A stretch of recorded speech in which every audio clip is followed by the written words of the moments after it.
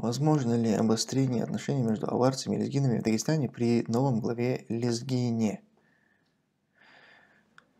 А, я не знаю, какие причины есть э, в Дагестане для того, чтобы обострились отношения между народами. Понятия не имею. Но я думаю, что вот этот Мотовников, ну, он, знаете, он такой же лезгин, как, э, допустим, Сурков-чеченец.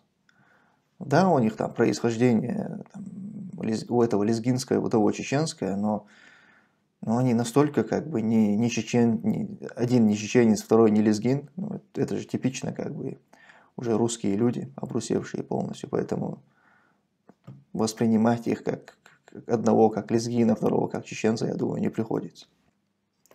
Как думаешь, будет еще кипиш между Осетией и ингушами? Считаешь народы братскими? Ну, я надеюсь, что не будет никакого кипиша. Не хотелось бы, конечно. А братскими какие народы? Осетин и ингушей ты имеешь в виду? Считаю ли я их братскими? Ну, нельзя их назвать братскими народами после всего того, что там было.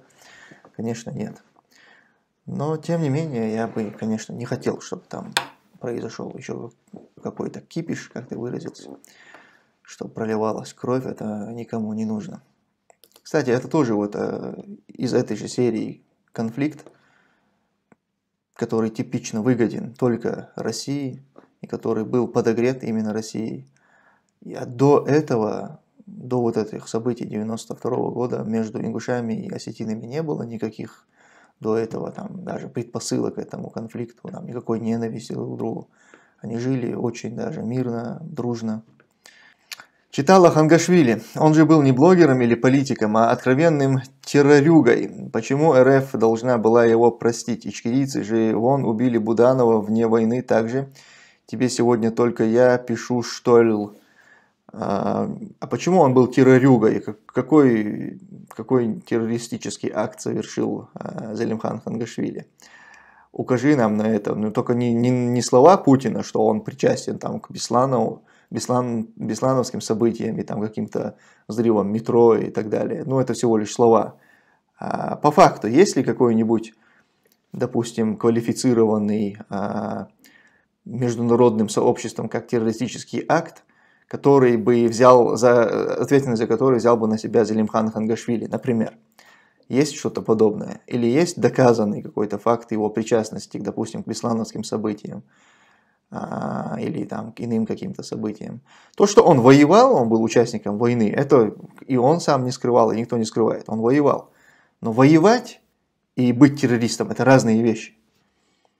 Поэтому, как бы, ну, предъявите свои доказательства, тогда я поговорим. Ты говорил, что слова Дудаева о неучастии в бомбежках Афгана требуется опровергнуть. При этом слова Тимирханова, что он никого не убивал, ты считаешь, что опровергать не требуется. Он убил. А где логика? Там насчет Тимирханова я знаю просто ситуацию. Я разговаривал с его адвокатами непосредственно с теми, кто вел его дело. Я знаю. И не только я знаю, вся республика знает. Откуда, вы думаете, люди пришли тысячами на его похороны? С какой стати? Или вы, как Даудов, считаете, что это и просто из-за того, что он умер э, в тюрьме? Вы знаете, сколько у нас людей умирает в тюрьме? И туда не приходят тысячами их хоронить, и их не, не делают а, героями. Народ не возносит их в ранг героя. Юсуф Тимирханов, да помилует его Аллах, был а, вознесен в ранг героя народом. Именно за то, что он отомстил. Это все как бы знают. Есть э, в суде э, есть линия защиты. То, что происходит в суде, то, что люди не принимают вину и так далее, это вообще как бы не аргумент, это не воспринимается людьми.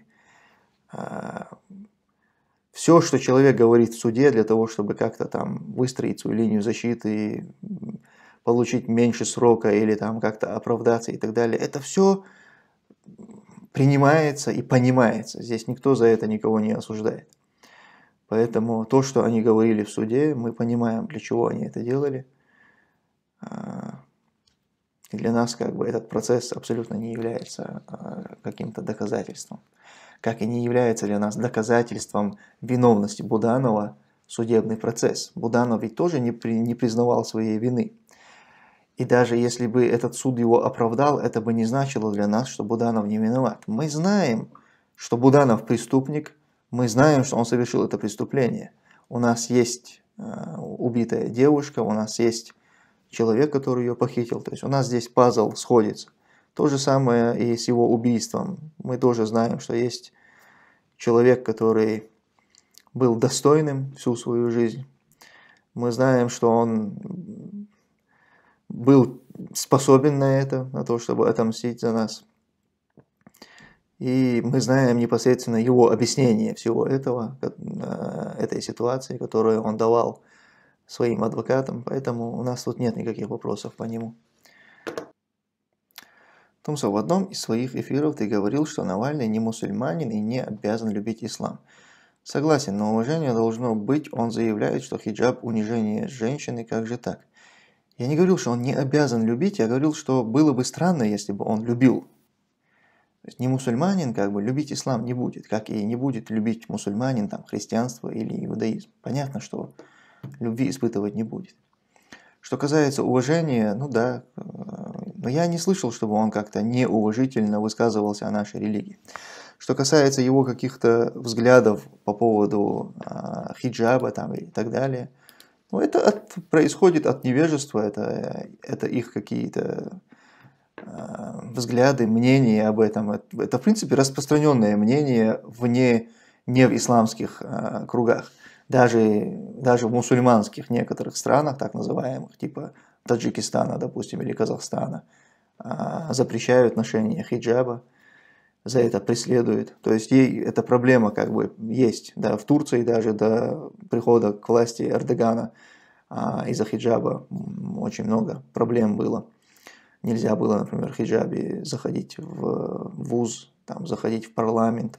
То есть такие были моменты. А, да, конечно, это, это заблуждение огромное. Но это присутствует, это такие стереотипы, которые присутствуют в этом мире. Лично я к этому уже как-то привык. Почему до Второй войны те, кто поднимали руки на намазе, те, кто э, носил хиджаб, э, называли вахабитами, а сейчас это делают все. Что изменилось? Изменилось сознание людей. Да, действительно, это правда. Когда тогда, в те времена, поднимали руки на намазе, это было признаком вахабизма. Девушка в хиджабе воспринималась тоже как вахабитка. Сейчас уже, хвала Аллаху, люди прозрели, большинство людей уже знают как бы эти вещи.